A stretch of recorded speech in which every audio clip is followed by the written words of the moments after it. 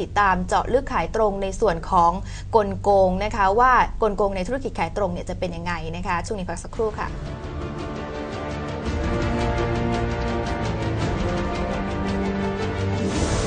SK 999 ปุ๋ย NC เคมีชนิดน้ำ ช่วยพืชทุกชนิดเจริญเติบโตได้ดียิ่งขึ้น ให้อาหารได้ทั้งทางรากและทางใบ ในขวดเดียวกัน ใช้ง่ายไม่มีผลข้างเคียง นี่คือนวัตกรรมทางการเกษตรแนวใหม่ ลดขั้นตอนการหว่านปุ๋ยเม็ดได้มากมาย ใช้ปุ๋ยน้ำ SK 999 ฉีดพ่นทางใบ ขวดเดียวเอาอยู่ สนใจโทร 02 105 6666 02 105 6677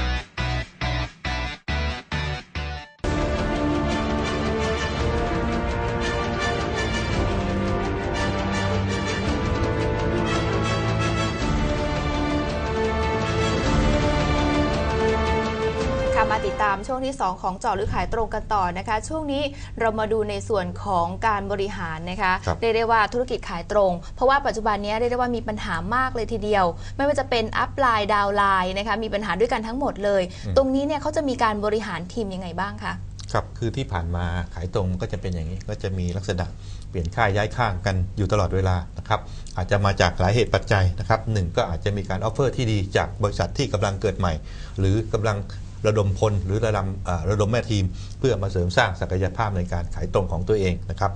เหตุผลอื่นๆมันก็อาจจะมีประเด็นปีกย่อยอีกเยอะนะครับสำหรับปัญหาที่เรียกว่าแม่ทีมลูกทีมหรืออัพไลน์ดาวไลน์ต่างๆนะครับโดยเฉพาะในระบบ b บ n a r y ที่เราเห็นกันดาดดื่นนะครับในกิจการขายตรงต่างๆนะครับที่ผ่านมาเนี่ยเรามีประสบการณ์นะครับได้เรียนรู้ประสบการณ์จากหลาย ๆ คนที่ได้พูดได้คุยกันนะครับ โดยเฉพาะล่าสุดนี้นะครับที่ผมได้มีโอกาสได้ไปคุยกับคนที่ทำธุรกิจขายตรงนะครับค่ะก็มีการมาแชร์ประสบการณ์กันอยู่เนืองๆนะครับ ทีนี้ประเด็นหนึ่งที่ที่ได้คุยกันมันก็จะมีอยู่เรื่องบางเรื่องนะครับที่เอ่อคนที่เป็นอัพไลน์ก็คือเสมือนหนึ่งเป็นเขาเรียกว่าแม่ทีมก็ได้นะครับค่ะคือมีลูกมีลูกทีมเยอะมีดาวน์ไลน์เยอะนะครับสร้างเครือข่ายขึ้นมาแล้วแล้วถามว่าเมื่อถึงจุดจุดๆหนึ่งเราเข้าไปดูแลลูกทีมเหล่านี้อย่างไรนะครับ นอกจากติดอาวุธทางปัญญา ส่งไปเทรนนิ่งนะครับส่งเข้าไปเรียนรู้กระบวนการปิดการขายนะครับส่งกระบวนการเรียนรู้ไปเรียนรู้เรื่องแผนการตลาด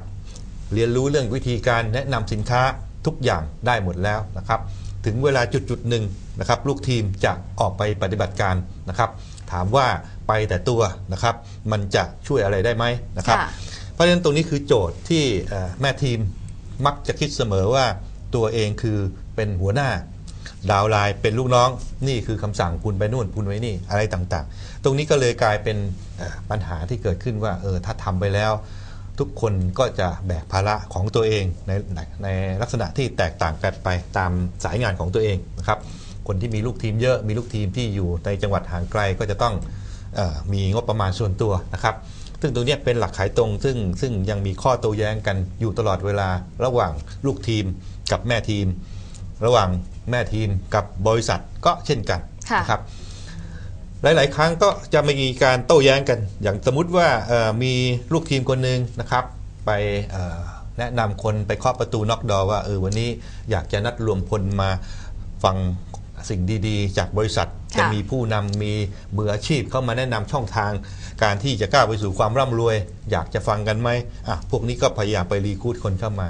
แต่ถามว่ามาถึงเวลารีคูดคนเข้ามาแล้วนะครับในแต่ละพื้นที่ในแต่ละจังหวัด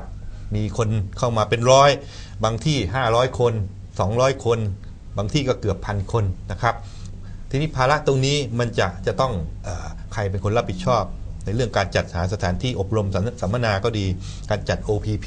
นะครับการใช้ต้องใช้สถานที่ที่จะต้องอาจจะมีค่า น้ำชานะคะค่ะกาแฟต่างๆนะครับตรงนี้ล้วนแต่เป็นภาระค่าใช้จ่ายทั้งสิ้นนะครับที่ผ่านมามันก็จะมีบางบริษัทเขาก็จะกำหนดหลักเกณฑ์ว่าเออถ้าจำนวนคนอบรมสัมมนาเท่านี้เกิน 100 ขึ้นไปบริษัทจะควักกระเป๋าจ่ายให้ค่ะช่วยนะครับ หรือถ้าต่ำกว่าเท่านี้เท่านี้อะแม่ทีมควักหรืออะไรต่างๆนะครับทีนี้ส่วนใหญ่บางครั้งนะครับ แม่ทีมไปดำเนินการอะไรไปเนี่ยมันมีค่าใช้จ่ายโดยที่เอ่อเอ่อลูกทีมนะครับค่ะคือดาวน์ไลน์เนี่ย ไปรีคูดคนเข้ามาพยายามที่จะเอ่อโน้มน้าวให้เขามาร่วมกิจกรรมกับตัวเองนะครับค่ะแต่ว่าปรากฏไปถึงเวลาเอาเข้าจริงๆเนี่ยกลับไม่ได้รับการเหลียวแลนะครับอืมไม่ว่าจะเป็นบริษัทหรือแม้แต่เอ่อแม่ทีมของตนเองนะครับ ตรงนี้ก็ทำให้เกิดปัญหาความที่เรียกว่าเอ่ออ่าไม่ค่อยๆค่อยอยากจะร่วมกิจกรรมด้วยเนื่องจากค่ะความรู้สึกที่ว่าทุกทุกครั้งตนเองจะต้องมาแบกรับภาระเพียงคนเดียว กลายเป็นนะครับไม่อยากให้ความร่วมมือไปเลย มันก็เลยกลายกลายเป็นสภาวะที่เอ่อต้อง แยกทางกันเดินค่ะสุดท้ายก็ต้องไปหาที่ที่ตัวเองคิดว่าอยากจะไปนะครับ แต่ว่าปัญหาจริง ๆ ระหว่างupline กับ downline ไม่อ่า upline กับ downline นะครับแม่ทีมกับลูกทีมเนี่ยไม่ได้เป็นเรื่องของปัญหาเรื่องการทำงานที่จะต้องใช้งบประมาณ จะแบ่งปันอาจจะแบ่งสรรปันส่วนจะแชร์กันยังไง จะช่วยเหลืออบอุ้มกันยังไง อันนี้เป็นข้อตกลงนอกรอบบริษัทไม่เกี่ยวค่ะดังนั้นบริหารลูกทีมเนี่ยบางครั้ง แม่ทีมจะต้องมีความพร้อมหนึ่งเรื่องทุนนะครับสองก็คือจะต้องบริหารเวลาให้ดีนะครับการนัดหมายจะต้องไม่ผิดนัด นัดคนมารอที่จังหวัดนี้เป็นร้อยๆ คนปรากฏว่าไม่มาซะดื้อๆนะครับ อย่างนี้ก็เป็นอันว่าจบเฮนะฮะ แต่ว่าไอ้ส่วนอื่นๆที่มันเป็นปัญหาหลักๆ ที่เราเจอกันก็คือของกรณีอ่าความไม่ไว้วางใจค่ะนะครับ ความไม่จริงใจหรือการจงใจจะที่จะเอ่อ มีการทุจริตเกิดขึ้นอืมในการทำธุรกิจขายตรงนะครับ ยกตัวอย่างอย่างคุณอัชราค่ะเป็นอ่าอัพไลน์ผมนะครับอืมเพราะฉะนั้นผมเป็น downline คุณอัชรานะครับค่ะผมมีหน้าที่ที่จะต้องรายงานให้คุณอัชราทราบว่าในแต่ละวันแต่ละเดือน ผมไป take order ไปติดต่อใครนะครับ ได้ออเดอร์มาเท่าไหร่นะครับค่ะทีนี้คุณอัชราเป็นแม่ทีมผมบางครั้งเนี่ยการที่จะ direct กับบริษัทบางทีมันจะต้องเออผ่านกระบวนการยุ่งยากนะครับ หรือบางทีเอ่อการ ขนส่งสินค้าจากจุดหนึ่งไปยัง downline ซึ่งอยู่ในพื้นที่นั้นๆอย่างสมมุติว่าอ่าผมอยู่นนทบุรีค่ะนะครับ แต่ว่าบริษัทอาจจะมีสำนักงานใหญ่อยู่อยุธยานะครับ ถ้าผมจะต้องเดินทางขับรถไปเอาของที่อยุธยา แล้วก็สั่งสินค้าไปแจ้งยอดกันที่นู่น จะเสียเวลายุ่งยากมากค่ะเสียค่าเดินทางเสียค่าขนส่งนะครับ ทุกอย่างจะต้องเป็นภาระหมดอืมแต่ถ้าแม่ทีมดูแลเอาใจใส่ผมบอกงั้นมา จัดการดูแลให้ก็คือดูแลผลประโยชน์ให้ก็คือว่าเอ่อแม่ทีมอาจจะมีจุดบริการที่นนทบุรีนะครับค่ะเพราะฉะนั้นผมไม่จำเป็นต้องไปอยุธยา ก็ใช้ service กับคุณอัชราเสมือนหนึ่งกับว่าคุณอัชราเป็นตัวแทนของบริษัทในเรื่องของการค่ะหนึ่งมีสินค้าในสต็อกก็ไปเอาสินค้าไปได้ สั่งซื้อสองก็คือการแจ้งยอดก็สามารถมาแจ้งกับคุณอัชราได้ค่ะนะครับทีนี้ตรงนี้ก็เป็นความสะดวกสบายที่แม่ทีมมักจะ เข้าไปเปิดจุดบริการรองรับลูกทีมที่ค่ะมีจำนวนมาก ๆ ในพื้นที่นั้นๆเอาไว้นะครับค่ะเนื่องจาแล้กวในว่าส่วนอ่าในกรณีที่ไม่มีจุดรับบริการตรงเนี้ยครับเขาจะมีวิธีการยังไงไหมคะที่จะช่วยในส่วนตรงเนี้ยคือตรงนี้ก็จะเป็นเรื่องที่เอ่อลูกค้าหรือผู้ที่จะเทคออเดอร์จะต้องไปไดเ c กกับทางบริษัทโดยตรงนะครับเพราะฉะนั้นบริษัทเนี่ยจะมีปัญหาทุก ๆ แห่งที่เวลาสินค้านะครับมีการสั่งซื้อ ในปริมาณที่อาจจะไม่สูงพอตามที่โควต้ากำหนดเอาไว้ว่าบริษัทจะส่งให้ฟรีค่ะมันก็กลายเป็นว่าลูกทีมจะต้องไปดิ้นรนกระเสือกกระสนส่งไปให้ถึงมือผู้บริโภค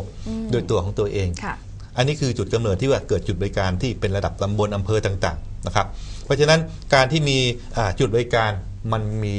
จุดหนึ่งที่อันตรายนะครับค่ะสำหรับคนที่ทำขายตรงนะครับ เนื่องจากว่าถ้าผมไปแจ้งยอดจากคุณอัชราคุณอัชรา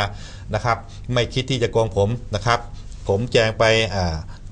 หนึ่งแสนบาทนะครับค่ะคิดเป็นคะแนนก็อาจจะสัก1นึ่งพันหนึ่งหมื่นคะแนน1 0,000 PV นะครับ ก็ไปแจ้งตามนั้นได้เท่าไหร่ก็แจ้งตามนั้น ผมวางรหัสไว้รหัสซื้อคือรหัสที่เท่าไหร่ก็วางไปตามนั้นนะครับค่ะแต่ที่ผ่านๆมาเราจะเจอเสมอว่า การที่เอ่อเอ่อแม่ทีมซึ่งเปิดจุดบริการรองรับสินค้ารารองรับสำหรับการเอ่อซื้อสินค้าของลูกทีมเนี่ยมักจะมีการอ่าเล่นซิกแซกกัน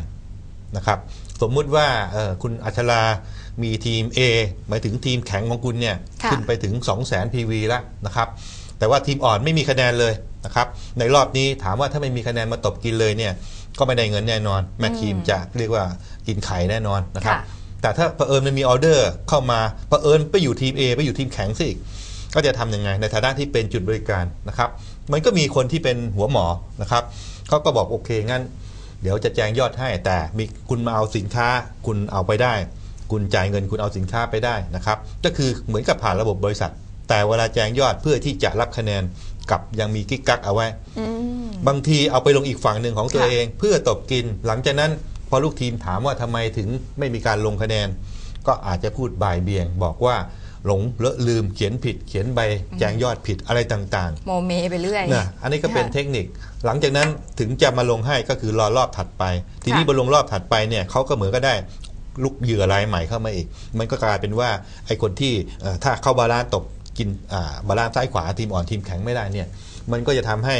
เขาไม่ได้ประโยชน์ สุดท้ายเนี่ยเขาจะใช้วิธีนี้ก็คือเอาออเดอร์ไม่ว่าจะสายใดสายหนึ่ง มาเฉลี่ย เพื่อ balance ตกกินของตัวเอง หลังจากนั้นก็จะหาข้ออ้างว่ามีการแจงยอดผิดอะไรต่างๆ นี่คือเป็นสิ่งที่เกิดขึ้นบ่อยๆ กับการทำธุรกิจขายตรงนะครับ เพราะฉะนั้นคนที่จะมาทำธุรกิจขายตรงหน้าใหม่ๆนะครับ